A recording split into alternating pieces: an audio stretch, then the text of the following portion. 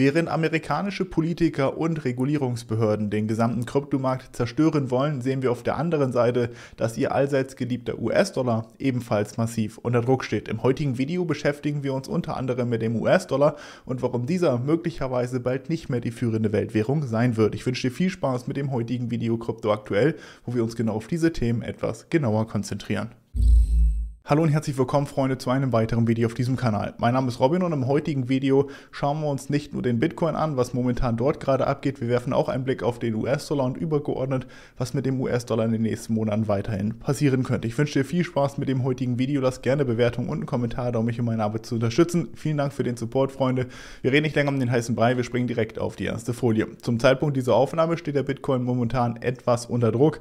2 bis 3 Prozent ist jetzt noch nicht übertrieben, aber wir sehen natürlich, dass der Bitcoin so ein bisschen Gegenwind erhält. Das ist auch vollkommen normal. In den letzten Tagen gab es einige sehr große Klagen gegen die weltweit größte Kryptohandelsplattform Binance. Brauche ich euch nicht noch einmal erzählen. Wir wissen mittlerweile alle, was dort vorgefallen ist. Währenddessen hat sich der Bitcoin allerdings in den letzten Tagen tatsächlich trotzdem besser durchgesetzt, als viele Analysten zuvor gedacht hatten. Das sieht man unter anderem beispielsweise auch an dem offenen Interesse für die ablaufenden Optionen. Heute ist Freitag, heute ist es wieder soweit. Viele Krypto- bzw. auch Bitcoin-Optionen laufen aus. Viele Analysten sind zuvor davon ausgegangen, dass sich der Bitcoin in der vergangenen Woche nicht so gut durchsetzen kann, weshalb hier die Bären ziemlich stark auf die Mütze bekommen, sollte der Bitcoin nicht noch weiter nach unten gedrückt werden. Rund 26.500 US-Dollar ist hier das Preis Ziel der Bären. Der Bitcoin hatte zwischen dem 12. und dem 17. März tatsächlich rund 32 Prozent zugelegt, was die Bären zuvor wahrscheinlich nicht gedacht hatten. Und eben dieses Kursniveau während der aktuell doch sehr, sehr turbulenten Woche auch weiterhin noch relativ gut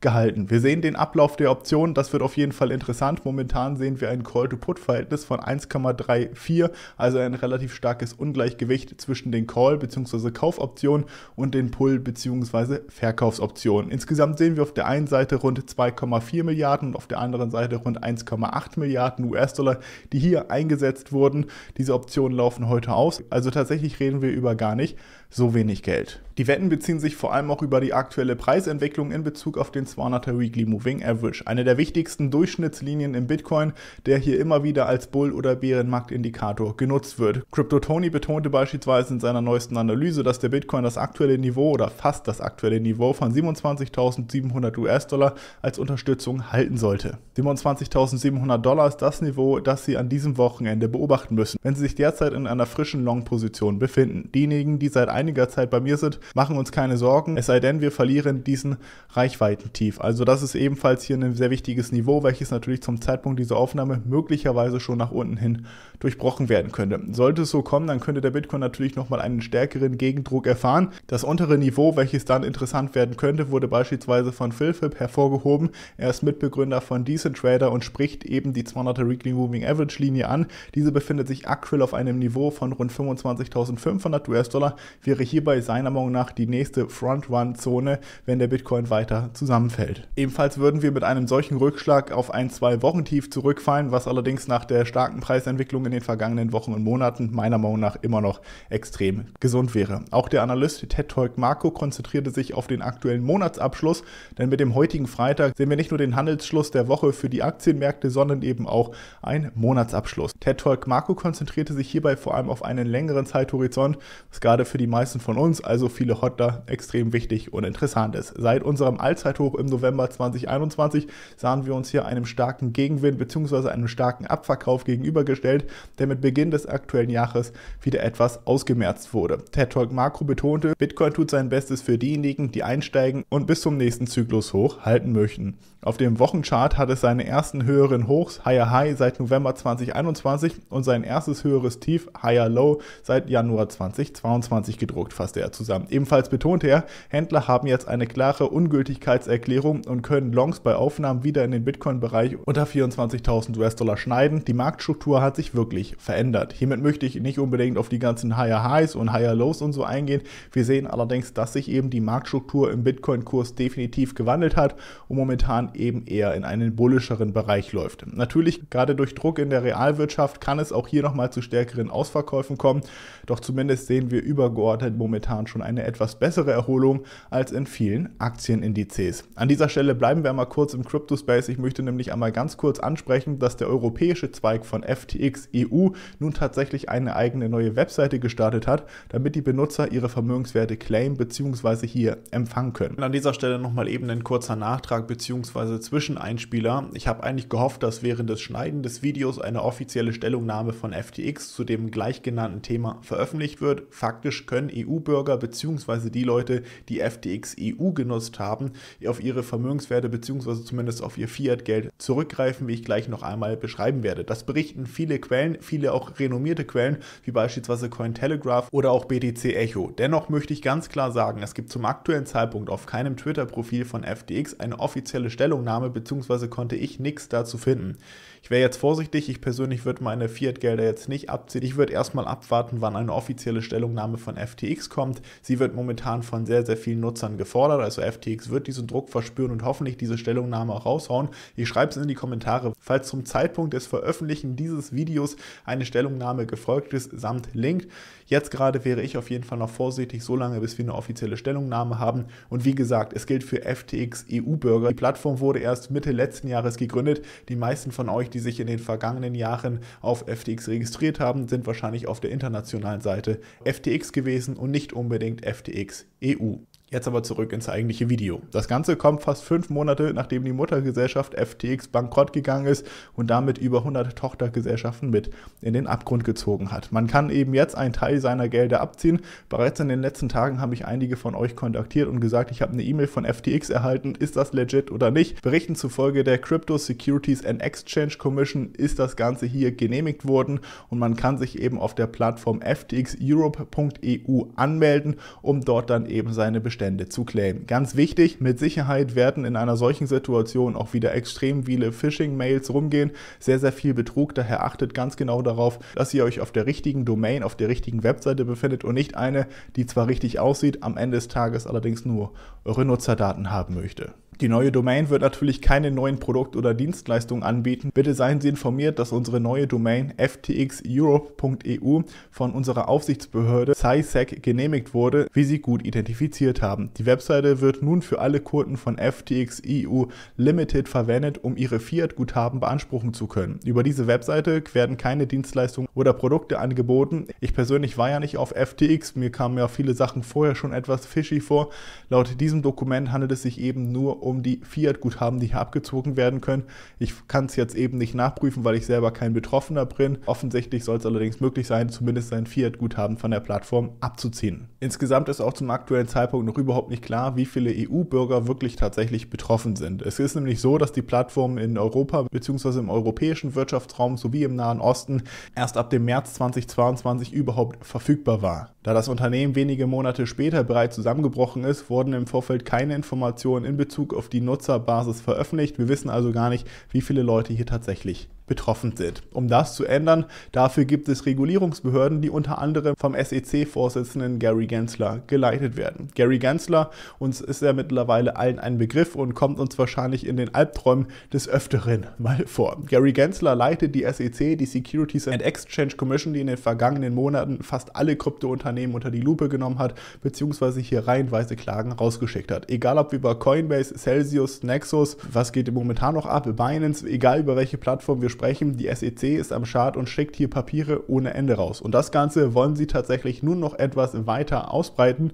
So hat der Vorsitzende Gary Gensler tatsächlich nun nach einer Finanzierungsrunde in Höhe von 2,4 Milliarden US-Dollar gefragt. Ja, er möchte selber als SEC finanziert werden, damit er gegen das, ich zitiere, Fehlverhalten der Kryptowährungsbranche vorgehen kann. Diese Aussagen bzw. Bitten tätigte er tatsächlich auch erst vor zwei Tagen und möchte damit eben das Innovationstempo aufrechterhalten, auch wenn ich ich nicht weiß, was das mit Innovation zu tun hat. Innovation wäre mal ein regulatorischer Grundrahmen. Schnelle Technologien, Innovation auf den Finanzmärkten haben zu Fehlverhalten in aufstrebenden und neuen Bereichen geführt, nicht zuletzt im Kryptoraum. Um dies anzugehen, sind neue Tools, Fachwissen und Ressourcen erforderlich. Gerade das Thema Fachwissen, da sollte ja dann doch mal die ein oder andere Lektüre durchs Büro reichen. Insgesamt möchte Gary Gensler sein Team um weitere 170 Mitarbeiter aufstocken. Allerdings geht es hier dabei nicht darum, neue Gesetze zu schaffen bzw. einen Grundrahmen zu schaffen. Er konzentriert sich vor allem auf die Vollstreckungs- und Prüfungsabteilung. Also ja, was soll man dazu noch sagen? Gerade im letzten Jahr gab es für die SEC eine Budgeterhöhung, weshalb sie personaltechnisch tatsächlich auch wieder auf den Stand von 2016 kam. Garys Meinung nach reicht es allerdings nicht, denn die Behörde sei immer noch überfordert. Er betonte, als Polizist auf der Straße müssen wir in der Lage sein, den Kampf gegen schlechte Schauspieler zu meistern. Daher ist es sinnvoll, dass die SEC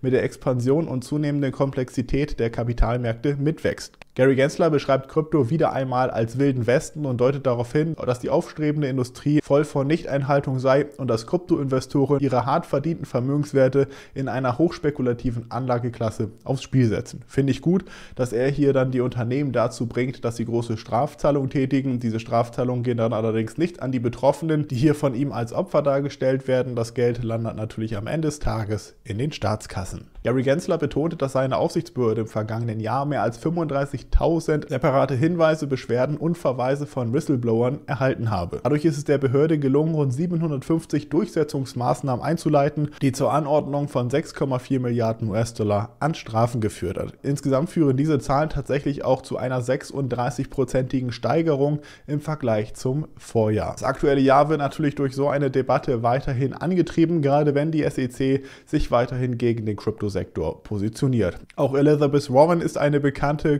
Krypto-Gegnerin, nutzt sogar in ihrer aktuellen Wahlkampagne tatsächlich die Armee gegen Krypto als ein Argument, sie zu wählen. Sie selber sagte bzw. beschreibt, die Elizabeth Warren is building an anti-Crypto Army. Sie selber verfügt übrigens über 67 Millionen US-Dollar und hat ein monatliches Income von 400.000 US-Dollar. Also ich sie ist, sie ist einer der Hauptbestandteile von dem gesamten Fiat Ponzi-System und ja,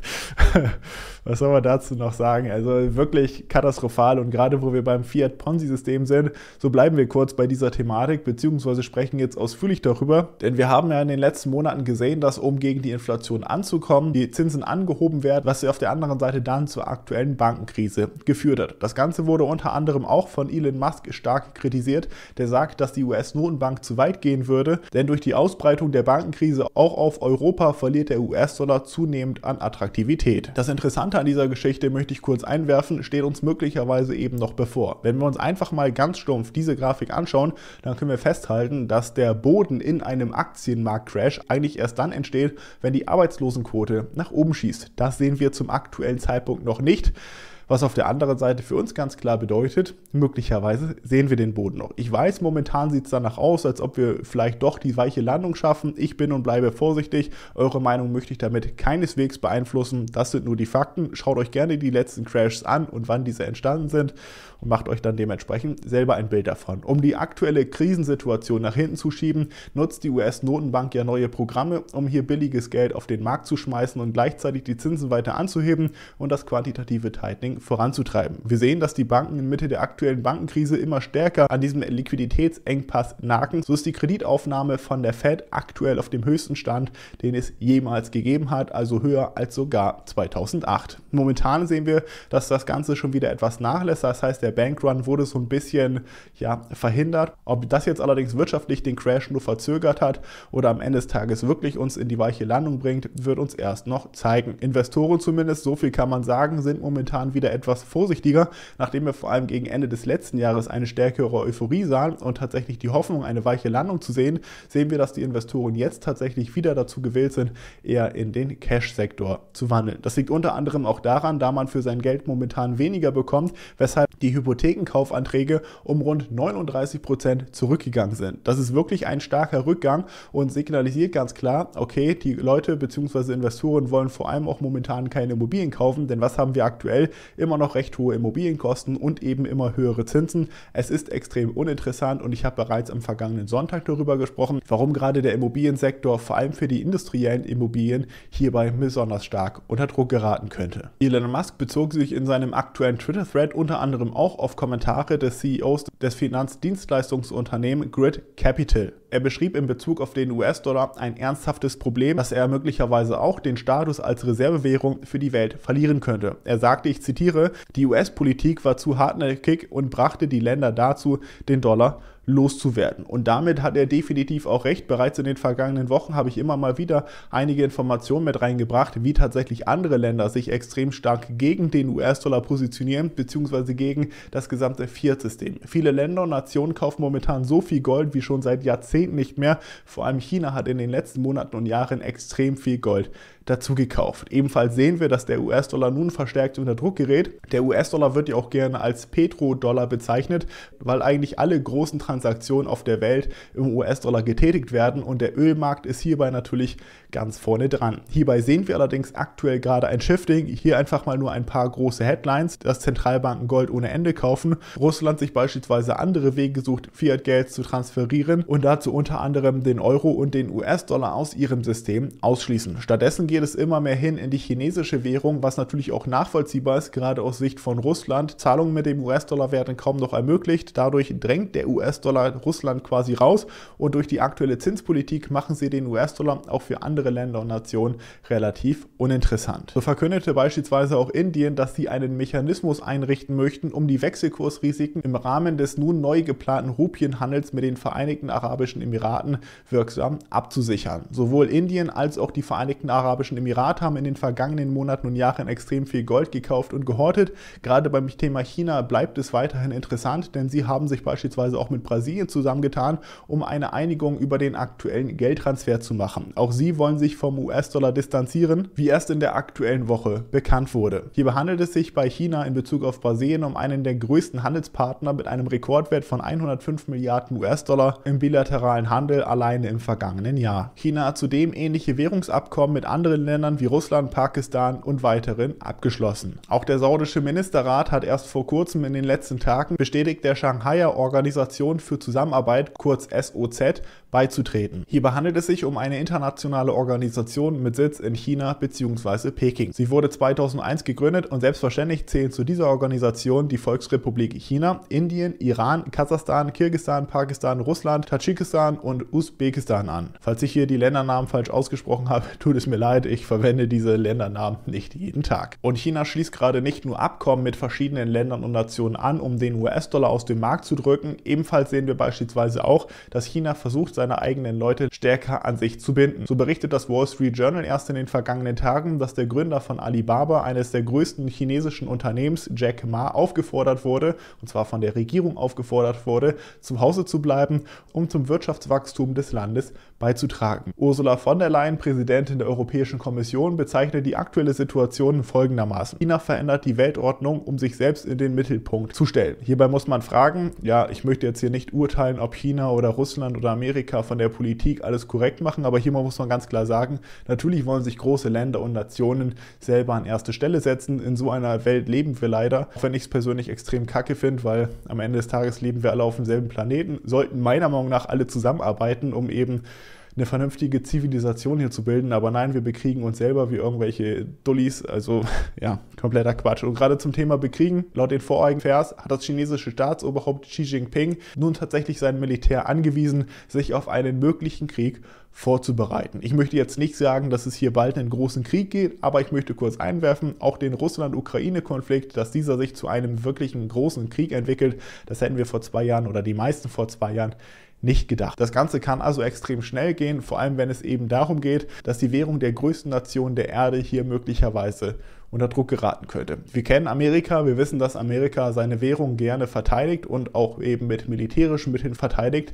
Es ist und bleibt spannend, wie sie daraufhin reagieren, wenn der US-Dollar im internationalen Währungshandel immer unattraktiver wird. Schreibt mir gerne mal in die Kommentare, wie eure Meinung dazu ist. Es gibt natürlich auch schon Lösungen. Das gesamte Fiat-System ist natürlich sowieso für die Katz. Deswegen kommen bald die wunderbaren CBDCs. Falls wir uns darauf mal etwas stärker konzentrieren sollen, dann lasst es mich gerne in den Kommentaren wissen. Europa hat ja beispielsweise beispielsweise erst kürzlich eine Bargeldtransaktionsobergrenze von 7000 Euro eingeführt. Das wird erst der Anfang sein, gerade mit Hinblick in die Richtung der Entwicklung zu den CBDCs. Dazu allerdings gerne in zukünftigen Videos mehr. Das heutige möchte ich beenden. Ich hoffe, ihr habt einen wunderschönen Start ins Wochenende. Ich hoffe, das Video hat euch gefallen und weitergeholfen und würde sagen, wir sehen uns morgen in alter Frische wieder. Bis dahin, ciao Freunde.